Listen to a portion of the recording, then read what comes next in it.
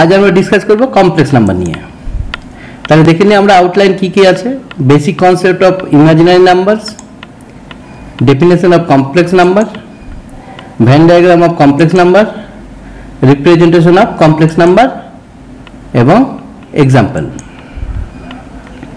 basic concept of numbers integer পূর্ণ সংখ্যা example one two minus one zero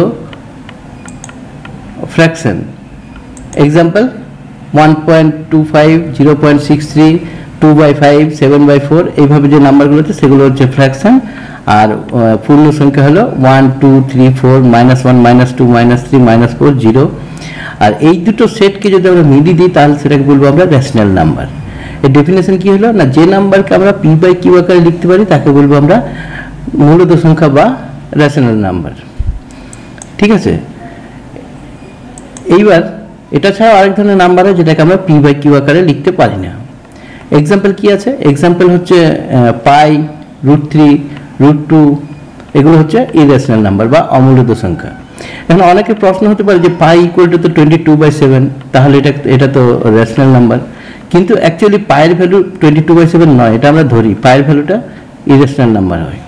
আর rational number আর irrational number এই দুটো মিলিয়ে দিয়ে আমরা যে সেটটা বানাই সেটা হচ্ছে রিয়েল নাম্বার মানে বাস্তব সংখ্যা। তাহলে এই দুটো মিলিয়ে দিয়ে আমরা পেলাম কি? বাস্তব সংখ্যা। এখানে কি কি থাকবে? এখানে থাকবে রেশনাল নাম্বার ইরেশনাল নাম্বার দুটোই থাকবে। আর নামটা শুনে বোঝা যাচ্ছে এটা যদি বাস্তব সংখ্যা হয়, তাহলে আরেকটা সেট থাকবে যেখানে কি হবে? অবাস্তব সংখ্যা বা ইমাজিনারি নাম্বার তাহলে সেটা কি জিনিস? এটা তো এখন পর্যন্ত যে আমরা ক্লাস টেন পর্যন্ত পড়াশোনা করছি, সেখানে আমরা কাল্পনিক নাম্বার বা অবাস্তব নাম্বার বা ইমাজিনারি নাম্বারটা আমরা পড়িনি। তাহলে দেখে নিই আমরা এটা কি? ইমাজিনারি নাম্বারটা case one if x square plus one equal to zero then find the value of x x square equal to minus one or x equal to plus minus root over minus one তাহলে এই যে রুটের মধ্যে minus আছে, এটা বাস্তব সংখ্যা নয়। কারণ কারণ বাস্তব এমন কোনো সংখ্যা নেই, যে সংখ্যাটার সাথে মাল্টিপ্লাই করলে সেটা মাইনাস পাওয়া যাবে। কারণ মাইনাস মাইনাসে মাল্টিপ্লাই করলে কি হয়? প্লাস হয়। আর প্লাস প্লাস মাল্টিপ্লাই করলে কি হয়? প্লাস হয়। সুতরাং এটা হচ্ছে অবাস্তব সংখ্যা। তাহলে অবাস্তব সংখ্যার ক্ষেত্রে আমরা কি করি?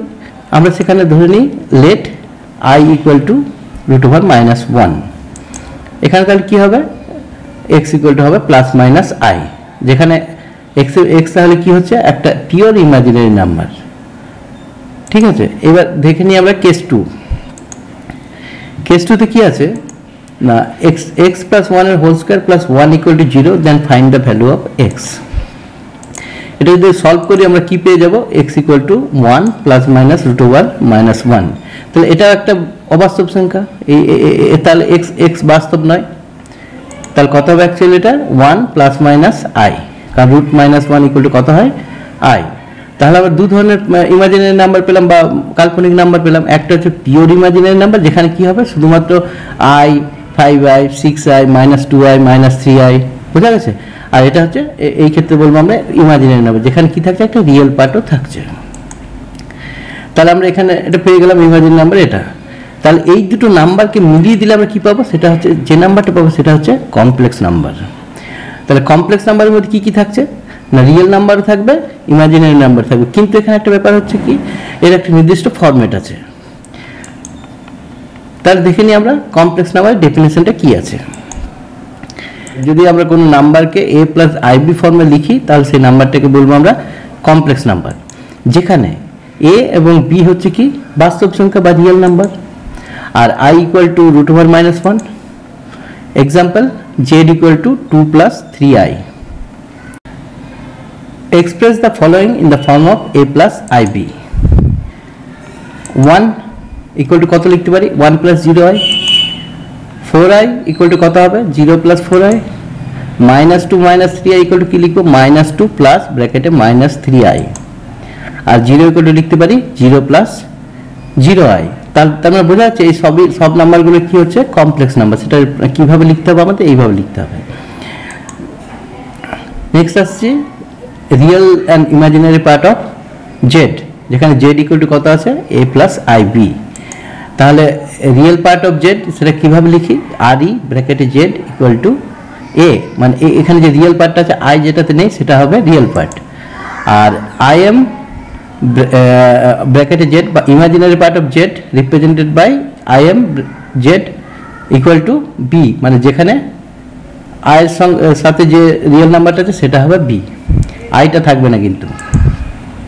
For example z one equal to two plus four i তাহলে এখানে রিয়েল জেড ওয়ান কত হবে? টু আর ইমাজিনারি জেড ওয়ান কত হবে? Four z two equal to minus one minus two i তাহলে real z one z two কত হবে? মাইনাস ওয়ান আর ইমাজিনারি জেড টু কত হবে? Minus two z three equal to minus three i তাহলে real z three কত হবে? Zero আর imaginary z three কত হবে? মাইনাস থ্রি নেক্সট চলে আসছি আমরা কমপ্লেক্স নাম্বারের ভেন ডায়াগ্রাম তাহলে কমপ্লেক্স নাম্বার হতে পারে রিয়েল নাম্বার হতে পারে ইমাজিনারি নাম্বার হতে পারে।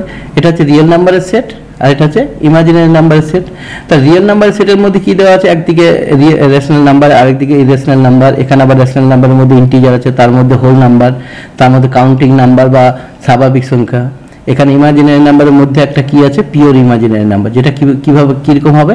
সেখানে শুধুমাত্র ইমাজিনারি নাম্বারটা থাকবে, সেখানে রিয়েল পার্ট থাকবে না, কিন্তু ইমাজিনারি নাম্বার ক্ষেত্রে কি থাকবে? এখানে রিয়েল পার্টও থাকতে পারে। তাহলে যদি z equal to a plus i b হয় মানে এটা কমপ্লেক্স নাম্বারের ফর্মে তাহলে যখন আমরা রিয়েল নাম্বারকে আমরা কমপ্লেক্স নাম্বারে কনভার্ট করব, তখন কী হবে? সেখানে বি ইকুয়াল টু জিরো হবে। বুঝে গেছে এই পার্ট জিরো হবে মানে সেখানে আই থাকবে না। আর যদি সেটা পিওর ইমাজিনারি নাম্বার হয়, সেখানে কি হবে? এ ইকুয়াল টু জিরো মানে তার রিয়েল পার্টটা থাকবে না। আর নর্মাল ইমাজিনারি হলে কি হবে? সেখানে a not equal to zero and b not equal to zero আর এই দুটো মিলিয়ে যে সেটটা পাবো, সেটাকে বলে আমরা কমপ্লেক্স নাম্বার এরপর চলে আসছে আমরা আর্গেন প্লেন যে কোনো কমপ্লেক্স নাম্বারকে আমরা এক্স ওয়াই প্লেনে প্লট করতে পারি।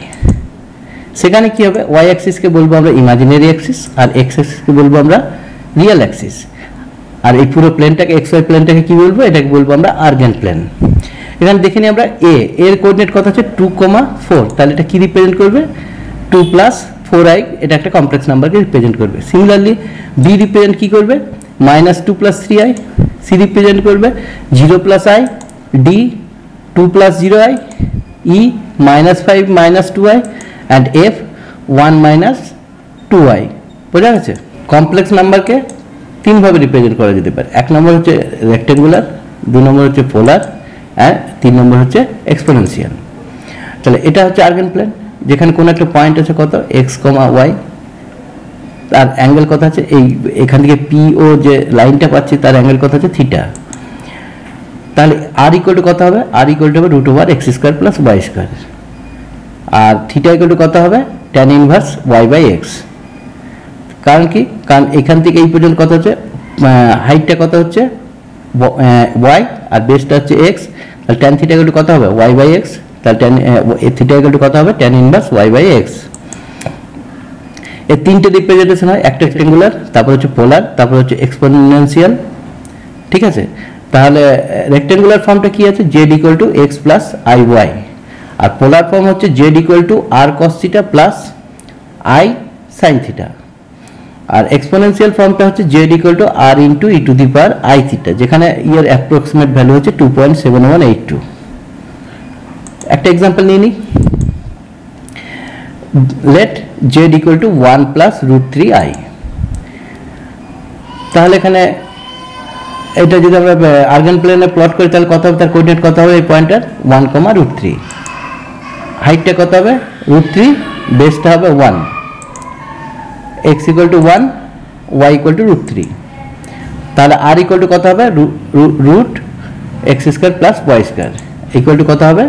Four root over four equal to two similarly theta equal to কত হবে? Tan inverse y by x মানে কত হবে? থিটা ইকুয়াল টু হবে সিক্সটি ডিগ্রি কারণ টেন সিক্সটি ডিগ্রি ভ্যালু হচ্ছে রুট থ্রি এখানে কত? টেন থিটা কত হচ্ছে? রুট থ্রি বাই ওয়ান তাহলে থিটা হলে কত? সিক্সটি ডিগ্রি বা রুট পাই বাই থ্রি তাহলে পোলার ফর্ম কী হবে? পোলার ফর্ম আমরা কী জানি? Z equal to r into cos theta plus i sine theta r এর ভ্যালু কত আছে? টু আর থিটার ভ্যালু হচ্ছে পাই বাই থ্রি তাহলে এটা পুট করে দিলে পেয়ে যাব কি আমরা? পোলার ফর্ম আর যদি আমরা এক্সপোনেনশিয়াল ফর্ম চাই, তাহলে কি হবে? তার ফর্মুলাটা হচ্ছে z equal to r into e to the power i theta r equal to two R theta equal to pi by three তাহলে এটা হয়ে গেল তার এক্সপোনেনশিয়াল ফর্ম এটা হচ্ছে রেক্টেঙ্গুলার ফর্ম আর এটা হচ্ছে পোলার ফর্ম ভিডিওটি ভালো লাগলে অবশ্যই লাইক করুন।